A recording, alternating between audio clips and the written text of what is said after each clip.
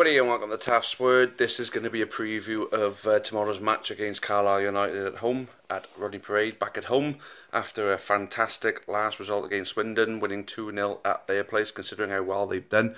And the good news kept flooding in. Obviously everybody who is county, who is actually alive, will know that um, our manager Michael Flynn has now signed a new deal. He's now contracted with the club until 2022. Uh, this was tweeted by the club. Breaking news: NCAFC is delighted to announce that my manager Michael Flynn has signed an improved and extended contract with the club. The new deal extends Michael's contract to June 2022. So, happy days. I mean, for many different reasons. First of all, it's going to deter clubs from coming in for him. It's going to give him something that he'll deserve. I'd imagine that would have come with a pay rise and a better bonus structure for him. Well deserved you know, I'd personally chip in to uh, make sure that we were able to give him that pay rise if that was the case. But for, he's he's got a new contract. He more than deserves it. He deserves his step up, but he's got unfinished business to do. As in the Argus, um, Podge has come out and said that you know all the players are expecting him to move on, but when he finishes the job here at Newport, I mean, we're a club close to his heart. I don't think he he'll jump onto a bigger job until he feels feels as though he's done what he can for the club. I mean, he's already performed miracles for us, as you would have seen the picture uh, before. You know, calling him the Newport Miracle Man. One hundred percent, he is. And we're taken into a very good position now um, after that win at Swindon, where a win now tomorrow against Carlisle will see us in the if if a lot of results got to go our way, of course, but we could end up finishing um, uh, the day in top spot because we're only two points off the top. I mean, the likelihood of it is very unlikely, but the fact we're even talking about it is uh, something pretty amazing. I mean, uh, going on to our opponents now, Carlisle. I mean, uh, they currently reside, as you can see, there in 16th place, not doing too well, but starting to put a couple of wins together at home. Um, if you look at the head-to-head between us and Carlisle, as you can see, we've won six of the last ten meetings. I think there's only been ten meetings since um, they were relegated from League One in the 2013-14 season, and then we won all of the encounters up until they beat us during our um, Great Escape season.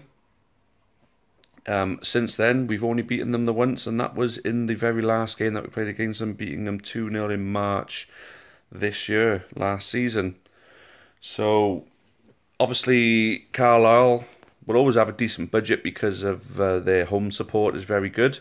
So they're always going to have a decent team. Whether they play well is another thing. I'm not a big fan of their manager Steven Pressley. I don't think he's a great manager, but we'll wait and see how things go tomorrow.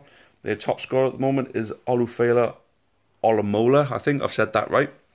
He was one of the key players for Yeovil when we got battered 6 0 by them at Rodney Parade last season. He's currently scored five goals. So, you know, they've got players who are finding the net. And the next player I'm going to mention, we know extremely well.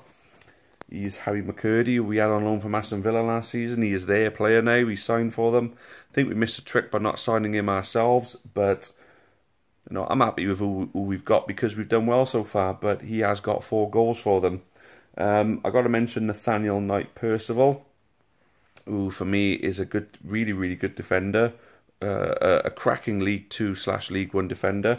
Um, I think they got a very good player on their hands there, and he could be um, a match for Jamille Matt if Jamille Matt starts, of course, tomorrow.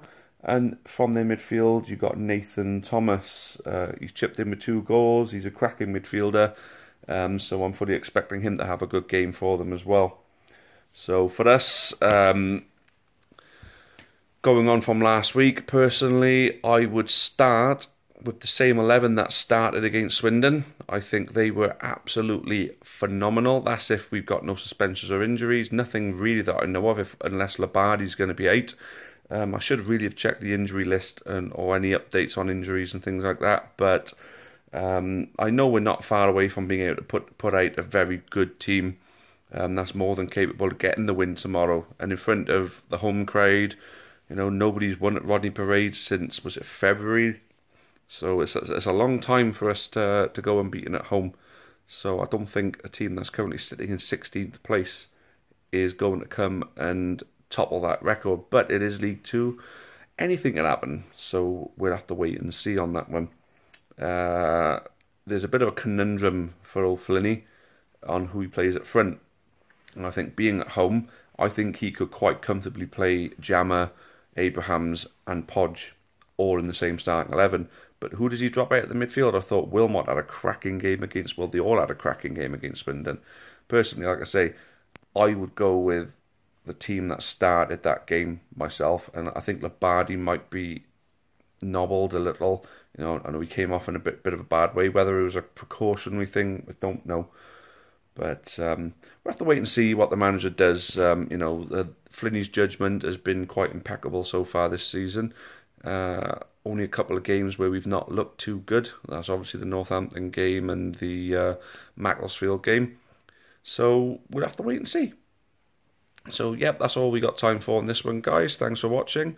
Um, see you all at the game tomorrow. and uh, as always, cheerio for now and up the county. Many thanks for watching the latest content on the Amber Army channel. Please make sure you leave us a like. Make sure you subscribe for more content, both for the neutral football fan and also plenty of Newport County.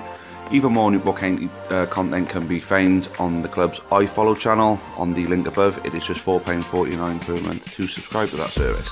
And those of you feeling extra generous can also support us on Patreon on the link at the bottom there.